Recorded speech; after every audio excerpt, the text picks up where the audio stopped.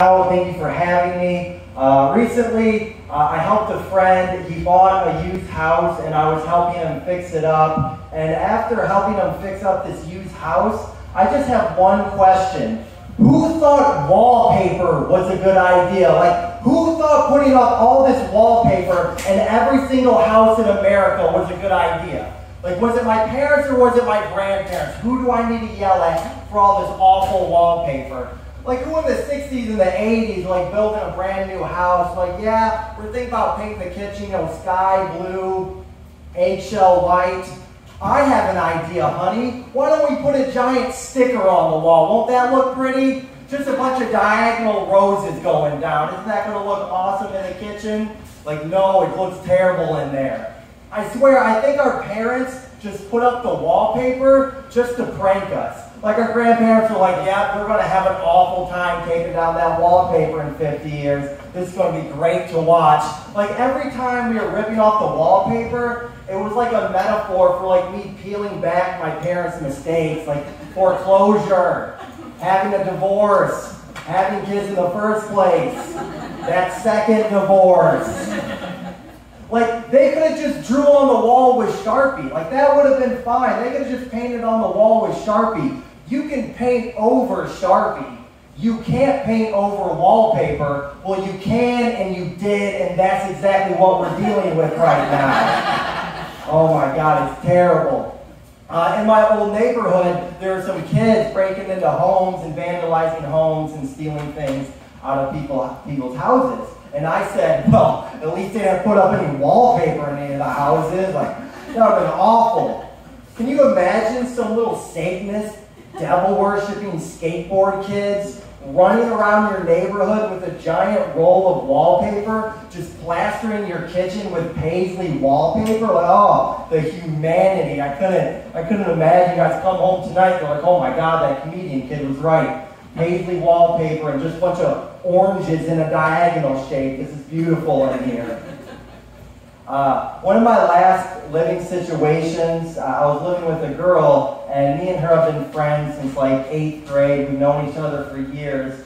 And uh, I would constantly, unintentionally scare her. Like I would just walk into the kitchen, so, oh my God, John, you scared me. So one day I come home from work, it's like four in the afternoon, she's sitting on the couch watching Forensic Files. For whatever reason, all girls love to watch forensic files. Every episode is about a girl getting murdered and tortured, and women are like, hmm, I wonder what this episode is about.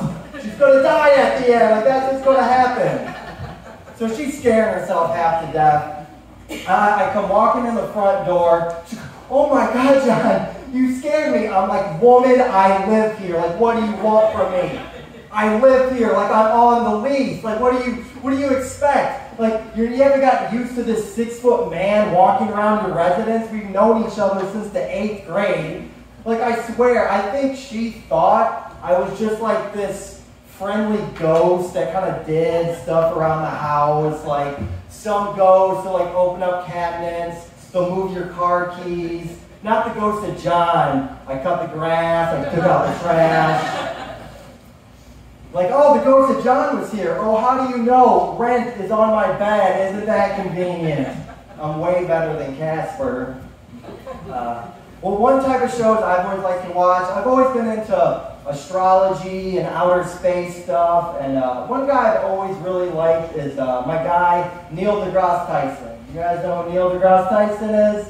Um, I, I like Neil deGrasse Tyson I don't understand a word that comes out of that man's mouth. I, like I'm sitting on the couch high, eating Cheetos, and like Neil deGrasse Tyson comes on. I'm like, oh, here he is. Here's my guy. And Neil deGrasse Tyson's like, in the cosmos, the nebulose implodes in the nucleus, creating a black hole of dark energy that enters into the white dwarf. And I'm just like, Yep, that's it. That's how space works, everybody. The white dwarf and the fuel injectors and the cosmos, like that's it. That's how space works. It's like when I listen to Neil deGrasse Tyson, it's kind of almost like I didn't drop out of high school. it's almost like I graduated from MIT too. Like I just, I just repeat things he says, and I'm like, yeah, like, I'm really smart. uh, I'm watching a lot of TV, and am I the only person that finds it extremely ironic? The TV show The Simpsons predicts the future, but the TV show Futurama does not predict the future. Am I the only one that's like on to Matt Groening? Like, all right, you have two shows. One predicts the future and one does not. You're fooling everybody else, but you're not fooling me, Matt. Like, I know exactly what's going on. Uh, I've been watching a lot of things here recently, and uh, having said that, if watching pornography has taught me anything, it's how to spell the word amateur. That is what taught me. Taught me how to spell the word amateur. Are you guys like me? You're, you're, you're, you're 25. Oh, Dr. Or were you guys like me? You were 25 years old going on Pornhub. You thought amateur was A-M-A-T-E-R. That is not. That is not how you spell amateur. Amateur is A-M-A-T. It auto corrects me, so I know how not how to spell amateur. Thank you, Piper Perry. Thank you. Uh, but I'm so dumb. Uh, but before porn, I didn't know how to spell DJ. Before porn, I'm so dumb. I didn't know how to spell ATM. Uh, for those of you that aren't laughing, which weren't not most, I'm not going to explain what ATM means. This is kind of a family venue. I also don't want to leave a bad taste in your mouth. so I'm not going to explain what ATM means. It's weird. You guys can just Google it later. Or don't Google it. That would be a good idea as well. Don't look at images. Videos and Hopefully it'll just be an ATM of PNC and you're just like, that joke does not make any sense. That's perfectly fine. Just not don't understand the joke. That would be great. My mom's in the audience, so things are extra weird. We're not talking about that on car ride home. I remember like when I was younger, like I'm the youngest, I remember like, oh, don't tell John what that means. And now it's like I'm older and it's like I don't tell adults what things mean. Like, no, no, we're not going to talk about that. Uh, one thing I, I, don't like, I don't like it when uh, people are talking about a high quality item and they refer to it as, oh, this is the Rolls Royce of microwaves. This is the best top of line microwave. This is the BMW of refrigerators. This is the Mercedes Benz of refrigerators. Like if I were to buy the Mercedes Benz refrigerators, what does that mean? It's going to break down all the time? Maintenance is going to be through the roof. I'm going to have to drive two hours to go to a special auto mechanic just to get my refrigerator fixed? No, no, no, no. I don't want the Cadillac of anything. I want the Honda Civic of everything. That's right, that's right. I wasn't too sure if you guys were a smart crowd or not, but I'm starting to like you. You guys, um, I'm warming up to you. You guys, you guys like the, the Honda Civic? Like, no. I, if Honda made a refrigerator, that would be the most long-lasting, cheap refrigerator ever. Oh, I got the Cadillac of ovens. It heats up from 0 to 30 in two minutes, but it cooks food the exact same, right? It's the same thing. Oh, but it impresses the neighbor. I'll stick to my, I'll stick to my Honda Civic uh, microwave whatever the hell I was talking about. uh, recently, uh, there's been a lot of new technological advancements to uh, ingesting marijuana, like a lot of new things. Like all the adults are about the CBD. Uh, you, know, you have the gummies, you got the vape pens or whatever. And I'm not really into like the new stuff. Like I'll take maybe a small gummy, I'll take a couple hits out of a vape pen, but like, I don't really like it. But I draw the line at blowtorch. Like, I'm not smoking dabs with the blowtorch. I don't know what the young kids are doing. They're taking the state of matter of marijuana and taking it into a state of matter that you need the power of a thousand suns to burn it. Like, whenever I'm like smoking weed with my friends and someone pulls out the blowtorch, we go from Dave's parents' garage to an industrial steel factory. Like, I don't feel safe. Everyone has a blowtorch except me. They put on their welder's mask. They strap me to the chair. They shove a tube down my throat like a clockwork orange. Like, all right, John, we're gonna get you high. Like, no, no, not, not, not this high. Call me old-fashioned. Call me stuck in the past. Whatever happened to a crushed can of Pepsi and a big lighter? Like, whatever happened? Whatever happened to that? Whatever happened to taking the, the, the, the dryer sheet and putting it around an empty toilet paper roll and blowing it out of your parents' window? Like, whatever. Like, we have, I, I don't know where we've gone, but like, I don't, I don't really like it where we've gone. Uh, it's, it's, it's not for me at all. Uh, I've had a I've had a lot of jobs in my life, and uh, I've had a lot of restaurant jobs, a lot of um, bar jobs. And working in a restaurant, working in a bar, it can be kind of fun. Things can be kind of laid back. Working in a restaurant, working in a bar, except on health inspector day. That's a bad day at Chili's when the health inspector pulls in.